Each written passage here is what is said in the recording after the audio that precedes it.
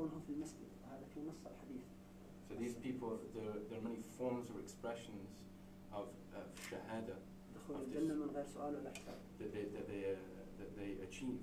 One of them is that they, they were killed in the masjid and they'll enter into Jannah with absolutely no accountability. ثانيا كونه يوم الجمعة والذي يموت يوم الجمعة وليلة الجمعة لا يكون عليه حساب في قبره ولا سؤال مباشرة إلى الجنان العاليات And then also that they, they passed away on the day of Jum'ah and it's such a blessed day that as we hear from the hadith that they're not, uh, they have no form of accountability or torture in the grave. They don't experience anything of this. ثالثا أن طريقة الموت يعني طريقة فظيعة بالكثير ليس بطريقة أخرى وهذا يضاعف فيها الأجر والثواب شهادة من نوع آخر And then another form or expression of that they that they that, that they underwent to achieve this accolade of, of this form of shahada is it was a foul way of being killed.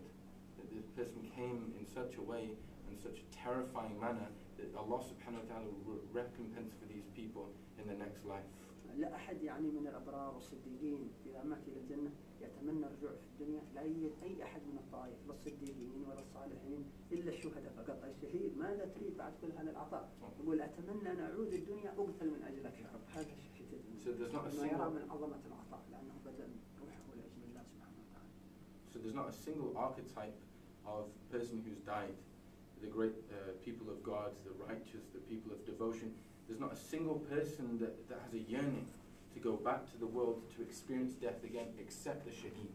The person who's martyred for the sake of Allah and the beauty and the delight which his soul experiences in the next life. That it is the only type of human being which actually yearns to experience that again because of the recompense which takes place for them in the next life.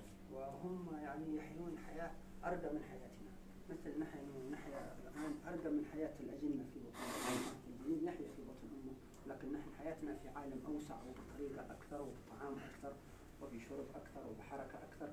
فحياة الشهداء في الآخرة يعني أكبر من حياتنا في الدنيا في عالم أوسع في البرزخ ونعيم أكبر. وحياة أكبر من حياتنا حياة الجنين في بطن أمه فقط محصور. لكن حياتنا متنقلة الشهداء متنقلين في البرزخ كله.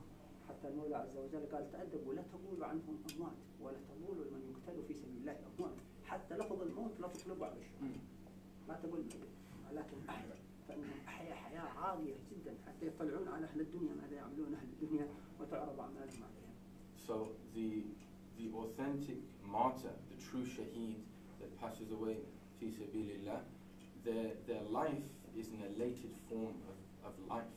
Just as we, we could say that the, the fetus in the mother's womb is living, but it's a different expression of living as we live now on the face of earth.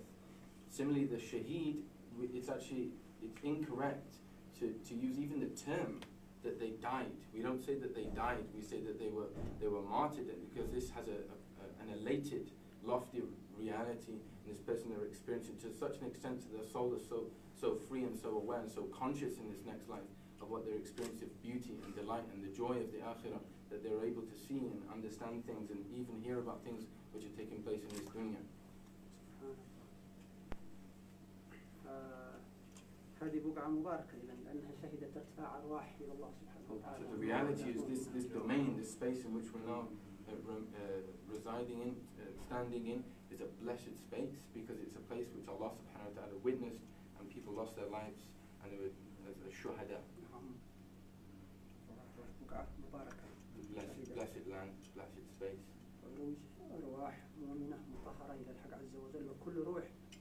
سبعون ألف ملك من الملائكة إلى الجنان أو العالم And this is a place because these were pure, uh, pristine souls which were chosen to ascend back to Allah subhanahu wa ta'ala. And upon this is the place in which they ascended when their lives, uh, when life were taken and they ascended back to Allah subhanahu wa ta'ala. They were followed, as we know, by over 70,000 angels escorting them back to the back to the divine presence. الحمد لله الحمد لله فهذا ظاهر ابتلاء وباطنه نعم من الله وبركات ومواهب وبركات حتى على المسلمين وعلى غير المسلمين So and to understand that even though at the face of things, ostensibly this was a, a huge challenge and a, a tragedy for the Muslims, but the, the, the reality which is uh, enveloped within this outward test is that it was a source of beauty and it was a source of goodness and a source of light that was spread not only for the people in this area but for all of the believers. ما هم فيه من النعيم للشهداء لتمنينا كلنا أن نلحق بهم And the, the reality of it is, were we to have any uh, exposure to the realities of what these people are experiencing now and that they're receiving directly from Allah subhanahu wa ta'ala, we would actually have a hope that we were in their place. مقام الشهادة مقام عظيم. حتى الرسول صلى الله عليه وسلم ما هي أمنيته رسول الله. وهو قائم قال وددت أني أقتل في سبيل الله ثم أحيا ثم أقتل ثم أحيا ثم أقتل ثم أحيا. ثلاث مرات كما في البخاري. The maqam, we have to understand that these people were killed and they, they attained a maqam, a station, a rank with Allah subhanahu wa ta'ala, that the people that understand the realities of things actually are desirous of and hope and yearn to be of that maqam and that stage. Even the Prophet Muhammad sallallahu alaihi wasallam is narrated in the compilation Sahih Bukhari. He said, I, I, I would hope that I was killed in the path of Allah, then I was revived, brought back to life, then I was killed, then I was revived, then I was killed, then I was brought back to life, because of the realities that the Prophet wasallam understood, which were unfolded in this great blessing and this great rank of the, the martyr.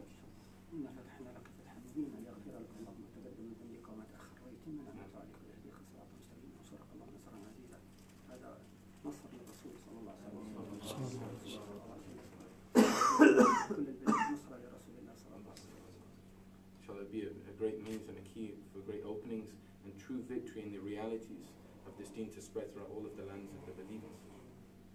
Ameen.